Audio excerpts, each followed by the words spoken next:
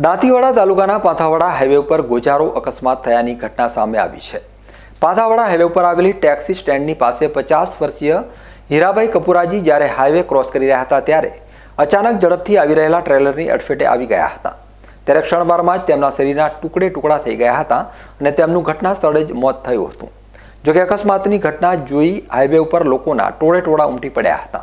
તેમજ પાથાવાડા પોલીસ ઘટના સ્થળે પહોંચી લાશને પાથાવાડા રેફરલ હોસ્પિટલ ખસેડી હતી.